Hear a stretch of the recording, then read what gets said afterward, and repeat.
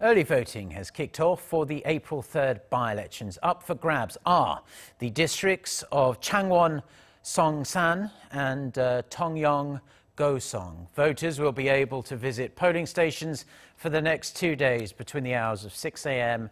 and 6 p.m.